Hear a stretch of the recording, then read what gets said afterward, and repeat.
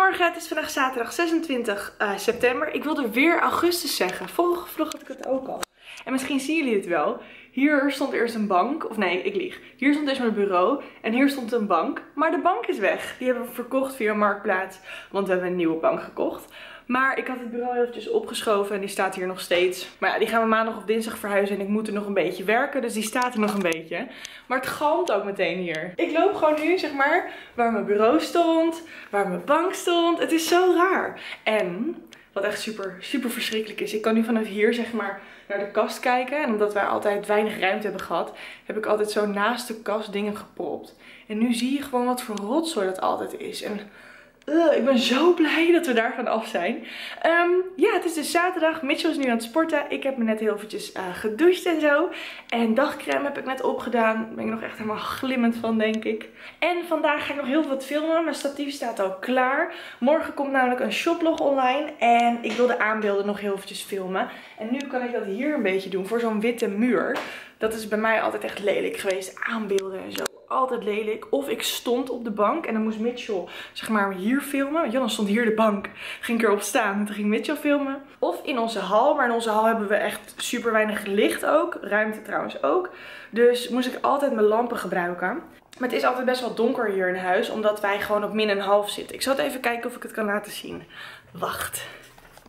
Loop ik in de hal. Je weet zo snel door dit huis heen ook. Kijk. Nu maakt het niet zo heel veel Ik kan het gewoon laten zien. Oh, moet je kijken wat een troepen trouwens is. Dit is zeg maar onze voordeur. Dan moet je een paar trappetjes naar beneden. En omdat je die trappetjes naar beneden moet, uh, kon je wel in de home tour zien, dat we daardoor gewoon op een heel erg raar niveau zitten met de straat. Dus de struiken hier zo en gewoon andere huizen, die houden het licht heel erg tegen. Dus hier in huis hebben we altijd best wel ja, weinig licht gehad. Ik uh, ben blij dat we in het nieuwe huis meer licht hebben. Maar wat ik nou wilde zeggen is dat ik dus hoop dat ik uh, leuke aanbeelden kan maken nu eventjes. En ik heb nu nog nat haar, wat een beetje onhandig is, want het ziet er niet uit tijdens aanbeelden natuurlijk. Maar misschien hak ik mijn hoofd er wel gewoon af. Het gaat toch om de kleren. Um, als je die shoplog nog niet hebt gezien trouwens, is van Come Get Fashion en is afgelopen zondag online gekomen. Oh en ja, voor de mensen die zich dat afvragen, waarom heb ik van die rare rode wenkbrauwen? Droge huid. Gewoon droge huid en ja, daarom. en Mitchell en ik gaan zo meteen ook even naar het huis van mijn moeder en stiefvader. Um, daar staat namelijk een tafel die mijn stiefvader voor ons heeft gemaakt. En nou ja, daar vertel ik zo meteen wat meer over. Deze intro is al heel erg lang. Leuk dat je kijkt naar een nieuwe vlog. Oké, ik heb even het eerste shirtje aan en het kaartje zit er nog aan. Dat je denkt, wat is dat? Um, maar kijk, hier staat mijn statief nu dus ook klaar. En ik heb een afstandsbedieningje, waardoor ik zeg maar scherp kan stellen. Dus dan druk ik. En dan maakt hij nu een foto. Want met mijn spiegelreflex moet je eerst een foto hebben voordat je scherp bent. En kijk, gaat heel snel weg hoor. Maar ja, dan ben ik dus scherp. En dan druk ik op iets anders. En nu filmt hij. Ja, dus nu ga ik lekker een beetje posteren voor de camera. Oh, hij zit nu iets te hoog. Zo gaat het altijd jongens. Dan blijf ik heen en weer rennen. Tot het goed is. En dan per artikel nog iets. Of iets, gewoon best wel veel. Ik schat het altijd verkeerd in. Ja, dit is goed. Zo, ik denk dat het wel goed is. En nu moet ik me weer gaan omkleden voor het volgende dingetje. Dus zo terug. Dit is een iets langer ding. Dus ik moet een heel stuk naar achter nu. Kijk, ik heb net mijn camera verplaatst, dus ik moet hem ook even heel scherp stellen.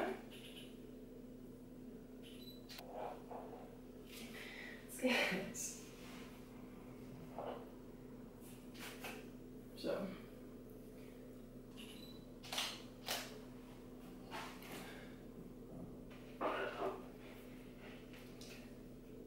Heb nu nog even een zwarte hiervan. Die ga ik ook eventjes filmen. En daarna ga ik me verder klaarmaken. Uh, de beelden even meteen importeren. En dan denk ik dat Mitchell er al is. En ja, dan kunnen we bijna alweer gaan. Ik weet echt niet wat Kes aan het doen is. Ze zit in mijn nek. Oh, en mocht je niet weten, ze is geholpen. Daarom heeft ze zo'n kapje om. Hij mag bijna af. Ah! Auw. Jemig. En yes, maandag krijgen we de sleutel van ons huis. Dus Oeh, en woensdag is onze laatste dag hier. Dus als jullie deze video zien, als deze online komt, dit is onze laatste dag. Oké, ik heb net heel veel lopen editen. En omdat ik net mijn uh, kooltruitje aan had, mijn turtleneck, dacht ik, oh yes. Dus ik heb hem weer een beetje herontdekt. Ik heb hem even verder aangekleed. Ik heb gewoon de broek aangehouden die ik net al aan had. Maar hij is een beetje een andere kleur zwart. Maar mijn broek is een beetje vaal zwart. En mijn shirt is echt zwart. Dus misschien doe ik nog wel een andere broek aan. Maar ik had gewoon zin in een high waist jeans.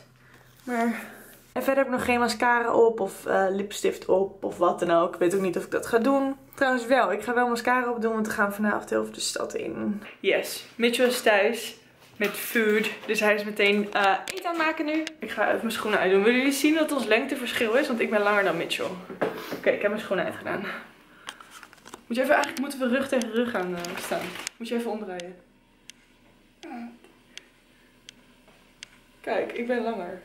Sta je op je tenen? Nee. Kijk, ik ben langer.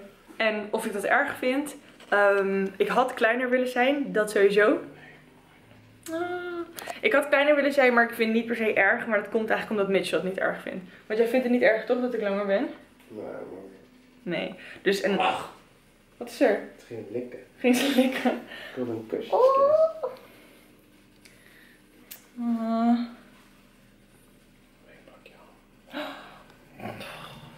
Ham. Het kind krijgt zoveel eten van, uh, van Mitchell.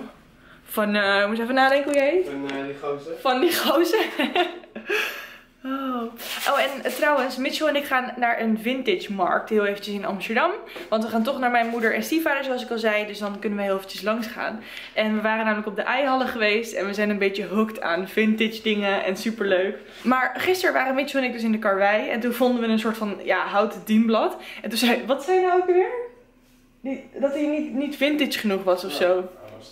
Hij was te nieuw. En toen dacht ik echt, oh my god, we zijn echt een beetje vintage hippies aan het worden.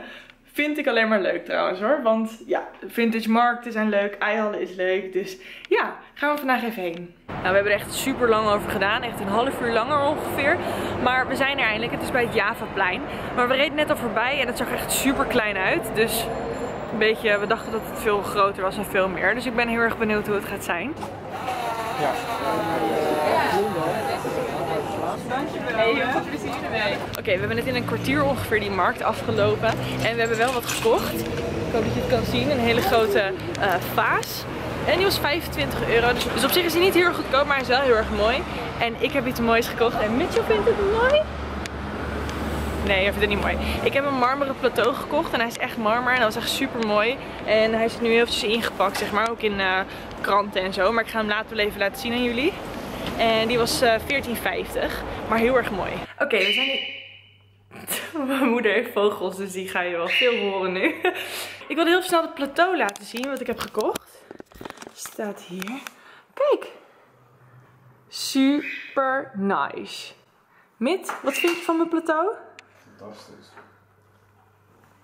Nou, ik vind het verschrikkelijk. En zoals ik al vanmorgen had verteld, mijn stiefvader heeft dus... Oh, die vogels. Ik ga gewoon naar de gang. Zo, hier is iets minder. Ja, oké. Ja, mijn stiefvader heeft dus een tafel gemaakt voor ons. Dat kan hij hartstikke goed. En uh, ja, het was gewoon een kale tafel. Dus die moesten we zelf bijtsen, zoals dat heet. Eigenlijk het verven van hout, is bijtsen. Uh, in een kleur die wij wilden. En we hebben de onderkant hadden we wit gemaakt. En de bovenkant hebben we uh, ja, bruin gemaakt. En gisteravond hebben we de eerste laag erop gedaan. En we zijn heel erg benieuwd hoe die is opgedroogd. Dus we gaan er nu uh, kijken hoe die er nu uitziet. En weer een nieuwe laag erop doen als het goed is. Als we het mooi vinden dan gaat er niet een nieuwe laag overheen. Maar misschien wel. Oké, nou dit is dus de tafel. We staan in de schuur van uh, mijn vader, mijn stiefvader. Hier werkt hij altijd. Echt een zooitje. Maar hij is echt zo donker uitgevallen. Wat? Kijk, dit stukje is wel licht of zo. Dat vind ik wel mooi. Maar dit is zo donker. Lijkt ook misschien nog niet droog of zo. Ja, kijk. Want het is net alsof het laag 3 is. Maar gisteren hebben we laag 1 gedaan. Dus eigenlijk zou hij deze kleur moeten hebben. Dat is echt... Uh... Ik weet niet. Ja, ik vind, hem wel, ik vind hem heel mooi. Maar misschien wel gewoon te donker. Want dit, hè, is een hele andere kleur dan dit ook. Ja, en dit en dit. Ik ook niet. Nou, dat is dus de tafel. Um, we gaan het dus niet meer nog een keer behandelen. Want dan wordt het alleen maar donkerder. Als je bijts over bijts heen doet, dan wordt het donkerder en donkerder en donkerder. Vandaar ook die drie stapjes die op het uh, dekseltje had zien staan. Maar op een of andere manier is hij bij ons al meteen donkerder dan laag 3 geworden of zo. We zijn ook net bij de Albert Heijn geweest, dus hebben heel veel boodschappen gehaald. Het is ook weer bijna 5 uur, dus gaan we heel eventjes hier zitten, een beetje tv kijken of zo. En dan gaan we zo meteen koken. En dan gaan we zo meteen ook weer de stad in. Oké, het is inmiddels alweer heel wat later. Ik heb net heel eventjes gekookt, samen met Mitchell's hulp een beetje. En we eten een pasta met spaghetti. En wat ik vroeger altijd in dit huis al deed met spaghetti, is... Even kijken, ik ga even zo hier. Hier de spaghetti gooien. En als het blijft plakken, is het klaar. Oké, wij zijn klaar met eten en we hebben Ajax afgekeken. Ik heb net even in de schuur bij mijn ouders weer zes verhuisdozen meegenomen. Dus die gaan we zo meteen weer even vullen.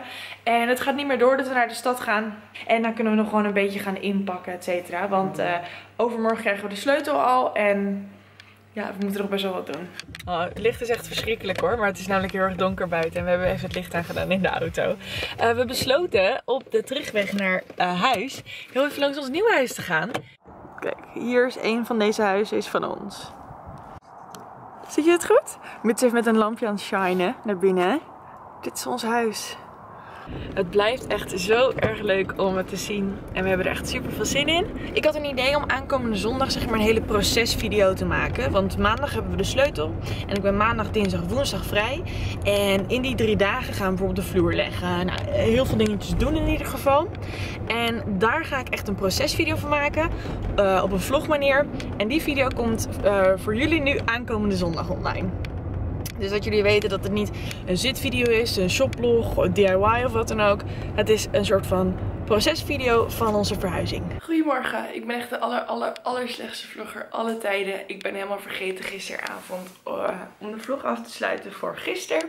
Ja, want gisteravond zijn we best wel laat thuisgekomen en toen gingen we... Um, even kijken, nog even wat opgeruimd en hebben een serie gekeken. En om half twee of half drie, weet ik even niet zo goed meer, lagen we in bed. En toen was ik het gewoon helemaal vergeten. Ja, sorry, maar we gaan vandaag gewoon weer vrolijk verder. Vandaag gaan Mitchell en ik heel eventjes naar de Ikea toe. Oké, ik ben me heel het aankleden. Maar ik heb een shirt aan van Conget Fashion. Voordat je denkt, wat is dit? Dit is een, uh, denk het overtrekken het even van het droog is. Maar ik heb um, even een shirtje aangedaan. Zo kan ik het misschien best laten zien, want dan kan je het van beide kanten zien. Um, ik heb een hemdje onder dit shirtje aan, maar hier zie je het hemdje zitten. En je ziet zo goed dat het hier ook echt duidelijk te zien is. Zie je? Maar zonder hemdje zie je mijn BH zo zitten. Dit shirtje met zijsplits trouwens van Come Get Fashion is van de afgelopen uh, zondag shoplog. Uh, ik heb een net leren legging aan van de Primark en uh, Superstars, Adidas Superstars. En dus het shirtje van de Come Get Fashion wat ik net zei. Dus nu gaan we naar de Ikea toe. Andere Zwitserse banken gegevens opgegaan. We zijn bij de Ikea. het is echt super druk op de parkeerplaats. Dus ik denk ook dat het heel erg druk binnen is. Maar we gaan het zien. Kijk, de vloer die je hier ziet, deze witte, die hebben wij voor boven. Dus onze bovenverdieping is deze vloer. Dit vind ik echt een super leuke inrichting. Bruin en wit en beige. Oké, okay, het is een heel erg donkere modelwoning, zeg maar. Dus dat maakt de vloer ook wat donkerder. Maar deze vloer hebben wij voor beneden. Voor de benedenverdieping. Bruin. Oké, okay, hier staan de vloeren een beetje. Die hebben we dus voor boven helemaal. En deze hebben we voor de hele benedenverdieping. Deze. Oké, okay, we hebben allemaal weer laminaat gekocht. En twee gordijntjes en een kleedje. Oké, okay, we zijn weer helemaal thuis en uh, wij hebben het laminaat gewoon in de auto laten liggen. Want morgen gaan we richting het huis. Dus dat gaan we morgen gewoon weer helemaal uitpakken. Auw, wat doe je? um, Oké. Okay. Awkward Mitchell. Oké, wij gaan heel eventjes naar de snackbar. Die snackbar is namelijk snackbar Danny. Ik zal hem zo even laten zien. En zeer waarschijnlijk is dat... Met zijn schoen aan het aandoen hoor. Het zag er heel apart uit. Het is namelijk zeer waarschijnlijk onze laatste keer bij deze snackbar. oh ja. Super dichtbij. Dit is snackbar Danny. Uh, eigenlijk is het Danny. Maar wij, weet je nog, met de eerste keer... Oh, ze is er wel. Annette.